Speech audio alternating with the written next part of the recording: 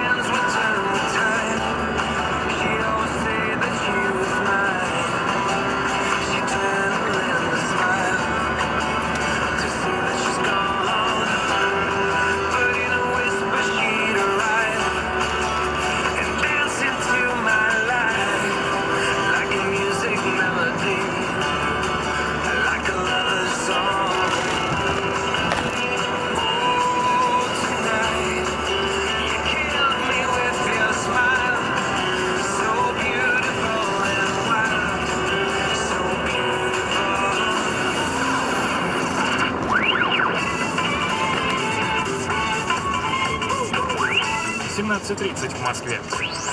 Авторадио. Народные новости. Интересно и полезно. Здравствуйте. Как вы знаете, на прошлой неделе глава Роснаркоконтроля Виктор Иванов выступил с любопытной инициативой. Он предложил ввести в стране систему ранней диагностики на наркотики для учащихся. С инициативой согласился президент и заметил, что тестирование можно будет проводить во время ежегодной дис- диспансеризации школьников и студентов. Новость эта наделала много шума. Изначально предполагалось принудительно проверять всех детей на наличие дурманивающих веществ. Сейчас речь идет о добровольном тестировании. И кое-где в школах проверка уже началась. Об этом подробно и расскажем в этом выпуске. Народные новости. Система медицинского обследования школьников, так называемая диспансеризация, в нашей стране сложилась давно. Обязательная диспансеризация проводится выборочно перед оформлением в первый класс в 10, в 10, в 12 или в 14 лет. В общем-то, раздать ребятам или родителям тесты не составит медикам труда. Поэтому настороженность, с которой многие восприняли эту новость, она лишняя. Так считает гендиректор издательского дома «Мир новостей» Андрей Авдонин. Эти анализы не очень дорогостоящие, и это напоминает просто допинг-пробы, анализ крови, анализ мочи показывает наличие запрещенных препаратов также и здесь. Поэтому это не является таким дорогостоящим методом. Если бы система диспансеризации заработала, это было бы полезно не только для тех, кто употребляет наркотики, а вообще для всех детей. В некоторых регионах проверка уже началась. Так, в Башкирии педагоги решили вместе с родителями бороться с детской наркоманией. В школах на собраниях начали раздавать специальные тесты, которые помогают определить, употреблял ли, подро- подру- употреблял ли по- ли подросток наркотики или нет. Но проблема, кстати, не в этом, считает наш собеседник, а как быть с частными клиниками, которые составляют конкуренцию государственным. Слово Андрея Авдонина. У нас не отработан механизм прохождения диспансеризации. И зачастую в любой справке можно купить. Вот с этим надо как раз бороться. Здесь должны быть жесткие законодательные меры. И вот тогда система диспансеризации будет работать нормально. Но, во-первых, у нас очень много государственных клиник, поэтому диспансеризацию, наверное, лучше проходить в государственных поликлиниках, больницах. Народные новости. По задумкам чиновников Роснаркоконтроля проводятся проверки будут везде. Сами школы о приезде специалистов узнают за три часа до часа X. А пока классные руководители собирают письменные разрешения с родителей, потому что без их согласия тестирование не состоится. Реагируют тесты на три вида наркотиков – героин, марихуану и синтетические вещества.